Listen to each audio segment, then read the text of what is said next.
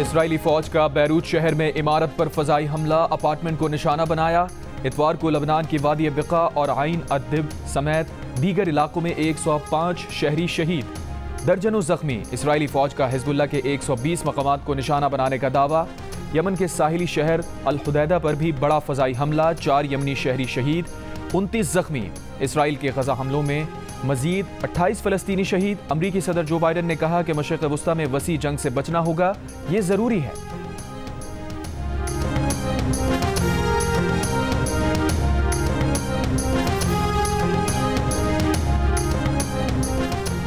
लबनान की कशीदा सूरत हाल और फ्लाइट्स बंद होने से कई पाकिस्तानी फैमिलीज़ बैरूत में फंस कर रह गईं। जियो न्यूज़ से गुफ्तु में बैरूत में फंसी पाकिस्तानी फैमिलीज़ ने बताया मुल्क शाम का रास्ता गैर महफूज हो चुका है। पाकिस्तानी सफारत खाने का रिस्पॉन्स सुस्त है।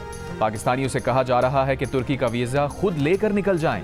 पी आई ए हुकाम का कहना है कि पी आई ए को ताहाल किसी खसूसी परवाज की हिदायत नहीं की गई। हुकूमत की हिदायत पर फ़्लाइट ऑपरेशन प्लान दिया जाएगा।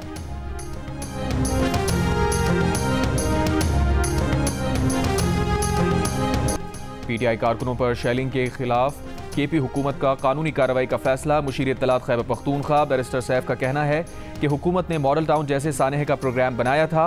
रावलपिंडी शहर और मोटरवे मकबूजा कश्मीर का मंजर पेश कर रहे थे। पीटीआई कारकुनों पर बरह रास्त शेलिंग और फायरिंग की गई।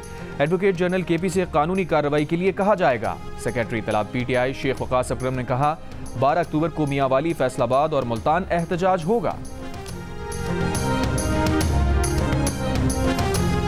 मौलाना फजल रहमान ने मौजूदा पार्लियामेंट के मैंडेट पर सवाल उठा दिया। नए इलेक्शन का मुतालबा कर दिया, कहा इस पार्लियामेंट का मैंडेट नहीं कि वो तरमीम करे। ये पार्लियामान इतनी बड़ी आइनी तरमीम की हकदार नहीं।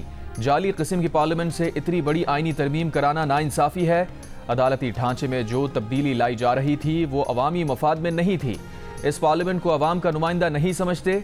इससे पहले मौलाना फजल रहमान ने चार सितंबर को कौमी असम्बली से खिताब में कहा था कि फॉर्म 45 की हो या सैंतालीस की, अब यही हुकूमत है। इसी से काम लेना है। हुकूमत के नंबर पूरे हैं। जब चाहे आईनी तरमीम कर सकती है, पीपल्स पार्टी के रहनुमा और सिंध के सीनियर सूबाई वज़ीर शर्जील इनाम मेमन का दावा। हैदराबाद में मीडिया से गुफ्तु में कहा, बानी पीटीआई जेल में बैठकर इंतशार फैलाने की कोशिश कर रहे हैं। जलसा करना हर पार्टी का हक है, लेकिन वज़ीर अला खैबर पख्तूनखा जो कर रहे हैं, वो दुरुस्त नहीं।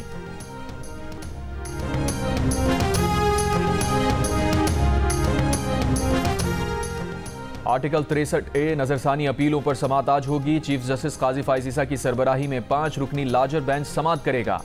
Justice Munib Akhtar, justice Aminuddin Khan, justice Jamal Khan Bandukhel और जस्टिस मजहर आलम मियाँ खेल भी लार्जर बेंच का हिस्सा हैं। मजदूरी के लिए पंजगोर में रहने वाले एक ही खानदान के सात अफराद दहशत गर्दी का शिकार।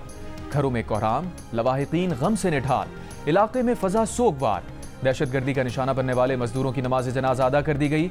जहाँ बहक होने वालों में शुजाबाद से ताल्लुक रखने वाले बाप बेटा भी शामिल। साजिद शफीक, फयाज इफ्तार, खालिद, सलमान और अल्लाह वसाया आपस में रिश्तेदार थे।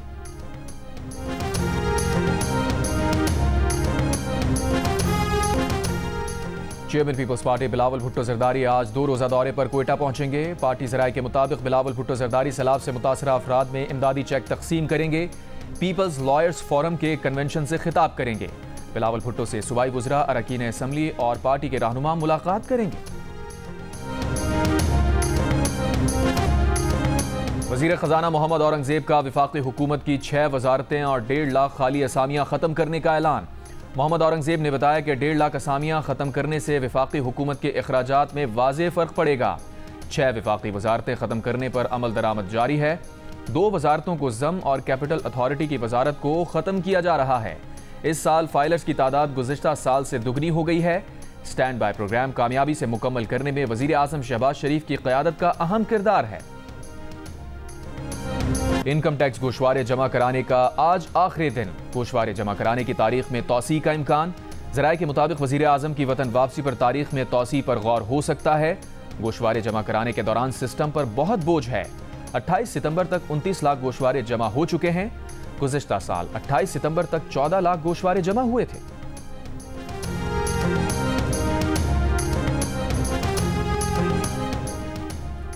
महँगी बिजली, आईपीपी से माहिदों और तनख्वाहदार तबके पर भारी टैक्सेस के खिलाफ जमात इस्लामी का मुल्क गिर एहतजाज। लाहौर में एहतजाजी धरने से खिताब में लियाकत बलोच ने कहा, हुकूमत ने बिजली बिलों में कमी के माहदे पर अमल नहीं किया। हुकूमत को फरार नहीं होने देंगे। कराची में भी जमात इस्लामी का धरना। मुनिम ज़फ़र का कराची का मुकदमा लड़ने का आज़म। कहा आवाम को रिलीफ दिलाने के लिए हुकूमत और माफियाज का पीछा करते रहेंगे। जमात इस्लामी की जानब से हैदराबाद, मुल्तान, गुजरावाला, डेरा गाजी खान, शिकारपुर, सखर, लाड़काना, लोअर दीर, नौशहरा, करक और मानसेरा समेत मुख्तलिफ़ शहरों में एहतजाज किया गया।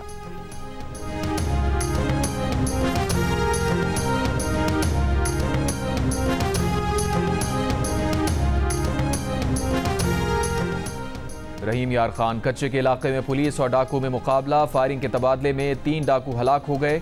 डीपीओ के मुताबिक हलाक डाकू पुलिस कैंप पर हमले और तीन अहलकारों के कत्ल में मुलविस थे।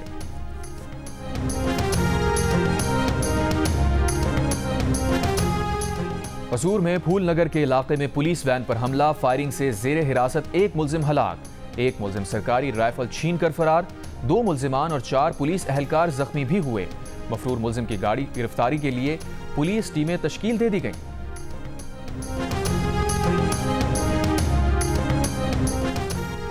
हसन नसरुल्ला की शहादत पर मुख्तलिफ़ शहरों में एहतजाज, कराची में रैली को एम टी खान रोड के करीब रोके जाने पर मुजाहरीन मुश्तिल हो गए, हंगामा आराई और पथराव। पुलिस की जानब से मुजाहरीन को मुंतशिर करने के लिए शैलिंग। तसादम के दौरान पत्थर लगने से छह पुलिस अहलकार और मुताद सहाफ़ी और कैमरामैन जख्मी हो गए। इस्लामाबाद में सेफ़ गजा कैंपेन के जेर एहतमाम नेशनल प्रेस क्लब के बाहर मुजाहरा। पुलिस ने दफ़ा एक सौ चवालीस की खिलाफ वर्जी पर सबक सेनेटर मुश्ताक अहमद और उनकी अहलिया समेत दस मुजाहरीन को गिरफ़्तार कर लिया।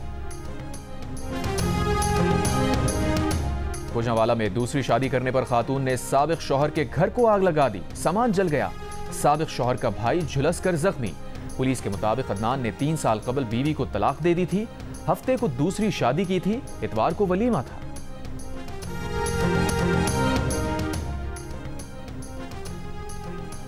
अमेरिका की पाँच रियासतों में तूफ़ान, हेलन की तबाहकारियाँ, फ्लोरिडा, जॉर्जिया, वर्जीनिया, साउथ और नॉर्थ कैरोलिना में अमवाद की तादाद नवासी हो गई। तूफ़ान के बायस कई सड़कें, पुल तबाह, लाखों सार्फिन बिजली से महरूम, बहाली का काम जारी। नेपाल में तूफानी बारिशों के बाद सैलाबी रैलों ने तबाही मचा दी, दरिया बिफर गए, मुख्तलिफ़ हादसा में एक सौ पचास अफराद जान से गए। सिर्फ़ दारुल हुकूमत खटमंडू में सैंतीस अमवात हुई। सैलाबी रैले में दो बसें बह गईं। दारुल हुकूमत के कुछ हिस्सों में 322 मिलीमीटर से जायद बारिश रिकॉर्ड। वज़ीर आज़म शहबाज शरीफ का नेपाल में सैलाब से जानी माली नुकसान पर इजहार अफसोस। एक बयान में कहा, नेपाल के साथ मुकम्मल यकजहती के साथ खड़े हैं, मुकम्मल मदद के लिए तैयार हैं। मौसीकी रक्स और फ़नून लतीफ़ा का हसीन इम्तजाज। आज कौंसिल कराची और जियो के इश्तराक से वर्ल्ड कल्चर फेस्टिवल के चौथे रोज़ दो थिएटर ड्रामे और मुल्की और गैर मुल्की डांस ग्रुप्स की परफॉर्मेंस फेस्टिवल 35 रोज तक जारी रहेगा। गैर आबाद जजीरे पर फंस जाने वाले रोबोट का नॉर्थ अमेरिकन बॉक्स ऑफ़िस पर राज। Hollywood animated comedy film The Wild Robot ने रिलीज़ के बाद पहले वीकेंड पर ही साढ़े तीन करोड़ डॉलर, यानी नौ अरब इकहत्तर करोड़ पाकिस्तानी रुपए से जायद कमा लिए।